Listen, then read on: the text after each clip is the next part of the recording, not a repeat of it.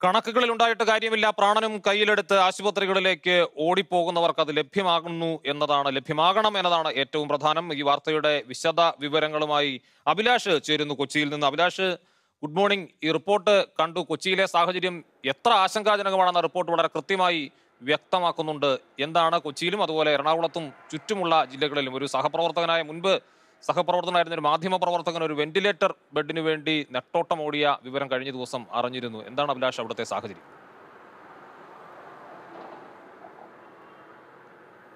അബ്ജോദ് വളരെ ഗുരുതരമായ സാഹചര്യമാണ് എറണാകുളത്തുള്ളത്. നേരത്തെ റിപ്പോർട്ടിലടക്കം സൂചിപ്പിച്ച പോലെ കൊച്ചി കേരളത്തിൽ ഏറ്റവും കൂടുതൽ സ്വകാര്യ ആശുപത്രികളുള്ള നഗരമാണ്. ഏറ്റവും കൂടുതൽ മൾട്ടി സ്പെഷ്യാലിറ്റി ആശുപത്രികളുള്ള നഗരമാണ്. ഏറ്റവും കൂടുതൽ ബെഡുകൾ ഉള്ള ആശുപത്രികളുള്ള നഗരമാണ്. പക്ഷേ നഗരത്തിൽ പോലും ഒരിടത്തും ഐ അല്ലെങ്കിൽ വെന്റിലേറ്റർ സൗകര്യം ഇല്ലാത്ത ഒരു സാഹചര്യമുണ്ട്. കഴിഞ്ഞ മൂന്ന് ദിവസത്തിലേറെയായി ഇതാണ് സാഹചര്യം. പ്രധാനപ്പെട്ട എല്ലാ ആശുപത്രികളും നിറഞ്ഞു നിൽക്കുന്നു.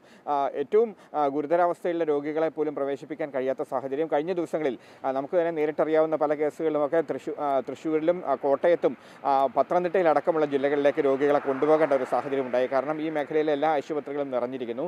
വളരെ ഗുരുതരമായ ഒരു സാഹചര്യമാണ് ഉള്ളത്. പക്ഷേ ജില്ലാ ഭരണകൂടമാകട്ടെ വ്യക്തമാക്കുന്നത് ഇത്തരത്തിൽ നേരിട്ട് ആശുപത്രികളിലേക്ക് രോഗികൾ സമീപിക്കുന്നതാണ് ഇത് പ്രധാനപ്പെട്ട പ്രശ്നം. ഇതിലൊരു കൺട്രോൾ റൂമുണ്ട് ജില്ലാ തലത്തിലുള്ള ഈ കൺട്രോൾ റൂം വഴി നീങ്ങുക. അങ്ങനെയെങ്കിൽ നിങ്ങൾക്ക് ലഭ്യമായ ഒഴിവ് എവിടെ എന്ന് കൃത്യമായി അറിയിക്കുകയും അങ്ങോട്ട് പോയാൽ മതി. ഇത്തരത്തിൽ ആശുപത്രികൾ കേന്ദ്രീകരിച്ചുകൊണ്ട് കൂടുതൽ ആശുപത്രികളിലേക്ക് രോഗികൾ എത്തുന്ന ഒരു സാഹചര്യം ഒഴിവാക്കണം. ഗുരുതരാവസ്ഥയുണ്ടെങ്കിൽ ഉണ്ടെങ്കിൽ കൺട്രോൾ റൂമുമായി ബന്ധപ്പെടണം എന്നാണ് ജില്ലാ ഭരണകൂടം വ്യക്തമാക്കുന്നത്. പക്ഷേ നമുക്കറിയാം ഒരു രോഗി ഗുരുതരാവസ്ഥയിലാകുമ്പോൾ ആളുകൾ പെട്ടെന്ന് ബന്ധുക്കളടക്കം ആശുപത്രിയിലേക്ക് നീങ്ങുന്ന ഒരു സാഹചര്യം. പക്ഷേ അവിടെയെല്ലാം ഇതേ മറുപടി തന്നെയാണ് ലഭിക്കുന്നത്. ഇത് വളരെ ഗുരുതരമായ ഒരു ക്രൈസിസിന്റെ വക്കിലാണ് കൊച്ചി എന്ന് തന്നെയാണ് ഇതെല്ലാം നൽകുന്ന സൂചന. കഴിഞ്ഞ ദിവസങ്ങളിൽ തൃശ്ശൂർ അടക്കമുള്ള ജില്ലകളിലേക്ക് രോഗികളെ കൊണ്ടുപോകേണ്ട ഒരു സാഹചര്യം എറണാകുളത്തും ഉണ്ടായി.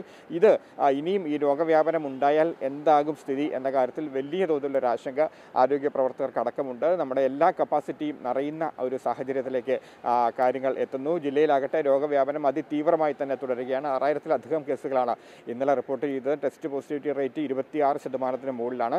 ഇരുപത്തിയഞ്ച് ശതമാനത്തിന് മുകളിൽ ടി പി ആർ ഉള്ള എഴുപത്തിനാല് പഞ്ചായത്തുകളാണ് എറണാകുളം ജില്ലയിലുള്ളത്. ഈ പഞ്ചായത്തുകൾ പൂർണമായും അടച്ചിടേണ്ട ഒരു സാഹചര്യമുണ്ട്. പക്ഷേ ഏറ്റവും പ്രധാനപ്പെട്ട പ്രശ്നം ഇത്തരം അടച്ചിടൽ. നമുക്കറിയാം കഴിഞ്ഞ രണ്ട് മൂന്ന് ദിവസമായി ഈ അടച്ചിടലിനെ കുറിച്ച് നമ്മൾ പറയുന്നുണ്ട്. പക്ഷേ എല്ലായിടത്തും സാധാരണ രീതിയിൽ ആളുകൾ പുറത്തേക്ക് ഇറങ്ങിയാണ് വാഹനങ്ങളിൽ ധാരാളം വാഹനങ്ങൾ പുറത്തേക്ക് വരുന്നു. ധാരാളം ആളുകൾ ഓരോ ആവശ്യങ്ങൾക്കായി പുറത്തേക്ക് വരുന്ന ഒരു സാഹചര്യമുണ്ട്. പോലീസിനെ പോലും ഇത് നിയന്ത്രിക്കാൻ കഴിയാത്ത ഒരു സാഹചര്യം. കാരണം വിവിധ മേഖലകൾക്ക് ഇളവുകൾ നൽകിയിട്ടുണ്ട്.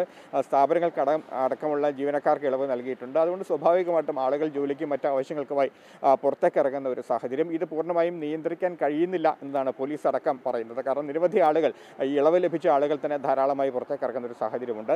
അതുകൊണ്ട് ഒരു കൂടുതൽ കർശനമായ ഒരു ലോക്ക്ഡൗണിലേക്ക് ജില്ല പോകേണ്ട ഒരു വളരെ ഗൗരവമായ സാഹചര്യത്തിലേക്ക് കാര്യങ്ങൾ എത്തി എന്നാണ് ആരോഗ്യ പ്രവർത്തകർ തന്നെ പറയുന്നത്. കാരണം ഈ എഴുപത്തിമൂന്ന് പഞ്ചായത്തുകൾ അടച്ചിടുന്നുവെങ്കിൽ പോലും അവിടെയും ഇതുതന്നെയാണ് സ്ഥിതി. കാരണം വാഹനങ്ങൾ അടക്കാൻ പോകുന്നുണ്ട് ബസ്സുകൾ ഇറങ്ങുന്നുണ്ട് യാത്രക്കാരെല്ലാം പുറത്തേക്ക് പോകുന്നുണ്ട് വ്യാപാര സ്ഥാപനങ്ങൾ പ്രധാനപ്പെട്ട സ്ഥാപനങ്ങളെല്ലാം തുറക്കുന്ന ഒരു സാഹചര്യം. ഇതുകൊണ്ട് തന്നെ ആളുകൾ വീണ്ടും പുറത്തേക്ക് ഇറങ്ങുകയാണ്. അത് ഒഴിവാക്കിക്കൊണ്ട് വളരെ കർശനമായ രീതിയിൽ ഈ അടച്ചിടൽ നടപ്പാക്കണം എന്ന ഒരു ഒരു ആവശ്യം ആരോഗ്യ ആരോഗ്യ പ്രവർത്തകരടക്കം സർക്കാരിന് മുമ്പിലേക്ക് വെക്കുന്നുണ്ട്. ഒരുപക്ഷെ വരും ദിവസങ്ങളിൽ ഇതുമായി ബന്ധപ്പെട്ടുള്ള കൂടുതൽ കർശനമായ തീരുമാനം ഉണ്ടാകാനുള്ള സാധ്യതയും നമുക്കിപ്പോൾ തള്ളിക്കളയാൻ കഴിയില്ല Woo!